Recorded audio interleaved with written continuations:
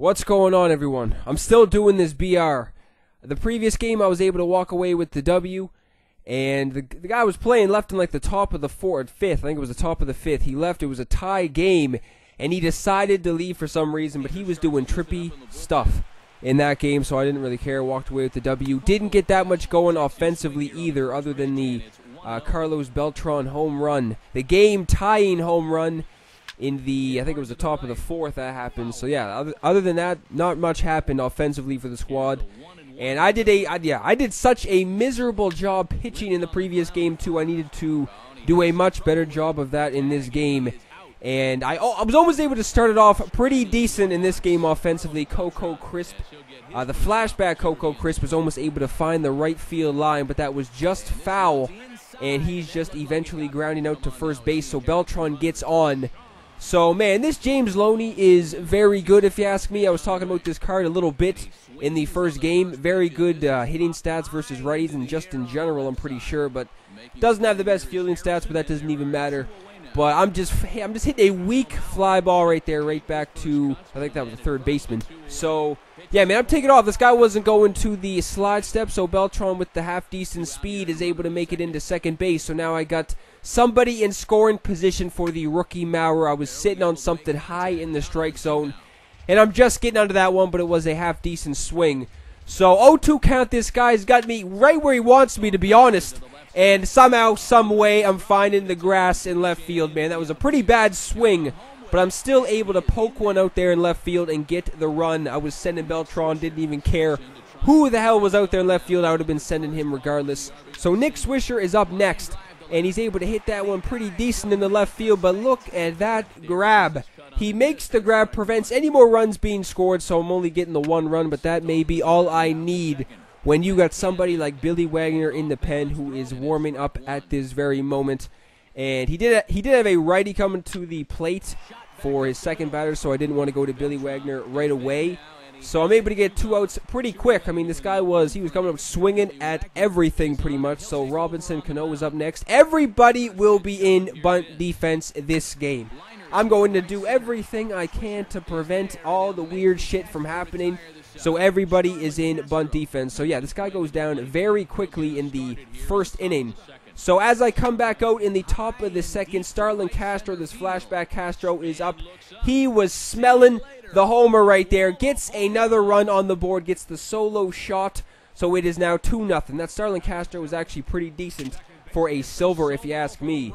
So yeah, I'm going up 2 nothing. That may be more than I possibly need in this game since I did have a couple other uh, good relievers in this game too. I forget. I had Koji Uehara, which is a half decent righty, I guess. Not going to blow anybody away with the heater, but he does have very good break and a good splitter and stuff like that. I forget who else I had. I had another lefty in the pen too. He was only a silver, but he was he had like high 90s velocity and high 90s break too.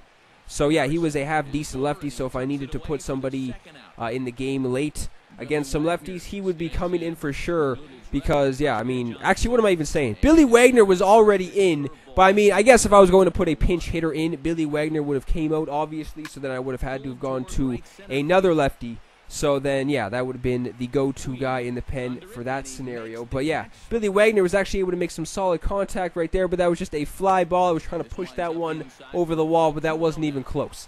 So now in the bottom of the second, he did have a couple lefties coming to the plate in this inning, which was good, but he's able to get a 3-0 count.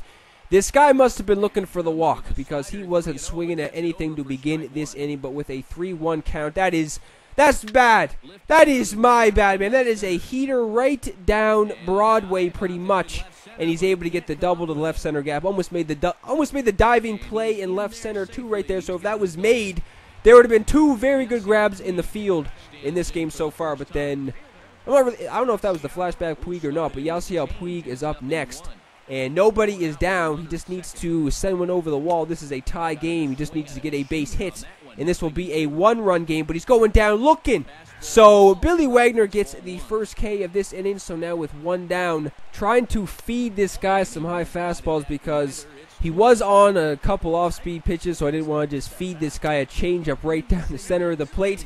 That would have that would have been hit to the moon probably, but yeah, I'm able to get a couple of high fastballs past this guy, so now I got a 2-2 count. This guy needs to This guy needs to be sat down, and he is sat down. So Billy Wagner is doing his job.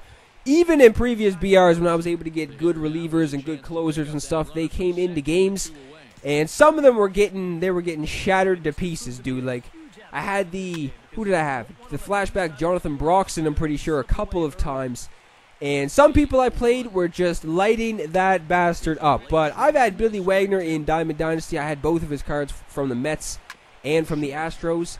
And every single time I've used him, pretty much, he has been just, uh, yeah, man, he's been, like, nobody can get, like, nobody starts these crazy rallies and shit when Billy Wagner is in the game. Nobody's can, like, getting three or four or five, a million hits in a row. Like, sometimes that shit goes down in certain innings, but when Billy Wagner is in, none of that weird stuff is happening. So, I'm able to avoid. The, this guy's not able to get around the board. So Billy Wagner does his job pretty much. So now Beltran is up. This is who you want at the plate. Have not even used the 99 Beltran in this game up until this BR, which I did I didn't even realize. So 1-1 count. I'm sitting on something. I was just waiting for some. I was waiting for my pitch. For some reason, this guy put in a he put a righty back in too because he was facing a lefty when Beltran came to the plate. And I'm pretty sure this Beltran has better hitting stats versus righty. So this guy was taking a little bit of a gamble uh, putting the righty in. But with a 2-2 count, he's getting me looking. I don't even know what I was doing right there. I was sitting on something off speed. And yeah, I was frozen right there for sure. So now James Loney is up looking to send one over that right field fence in Baltimore with James Loney. I think he has half. I think he might have half decent power too versus righties. I think his vision is very good. Like I was saying, this is a half decent uh, flashback gold. If you ask me, I mean, yeah, like I don't even remember when it was, but it was a a couple months ago at least. I was just looking at some cards, and for some reason, I just remember when I drafted James Loney, I was thinking back when I actually wanted to pick him up at one point in Diamond Dynasty, but I never did. But it doesn't even matter. He's going down right there. So now bottom of the third inning, the very scary bottom of the third inning in BR. I had a lefty coming to the plate to begin this inning, so I wasn't worried at all. Uh, get him to swing at some change-ups down in the strike zone. This guy was swinging at a lot of shit down in the dirt, so I was giving him a lot of stuff down out of the strike zone. But the high heat gets this guy. He's getting blown away with the high heat.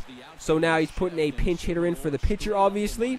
So yeah, I was feeding this guy some low changeups. Billy Wagner is he's always lights out, man. Like every I'd always say a lot of pitchers are lights out in this game, but Billy Wagner may be one of the best relievers slash closing pitchers in this game. That would have been insane if I was able to make that grab. That was much closer than I expected. And I almost came down with that grab since I was playing the bunt defense right there. I'm able to get the second out of this inning on a K2 so I think that's like four four Ks at least up until this point with Billy Wagner, may even be five. And he's only pitched like just over two innings, I'm pretty sure. So this guy's last hope of this game comes down to a lefty as well. So a 1-1 count, trying to go to the the heater down in the strike zone, trying to get this guy fooled a little bit since I didn't really feed anybody low heaters in this game. He's able to get a base hit. So one swing of the bat can tie this game up. This would have been hilarious. If that were to happen, I would have been laughing my ass off if this guy was able to connect with one and tie this game up. That would have been so damn typical. But 0-2 count now.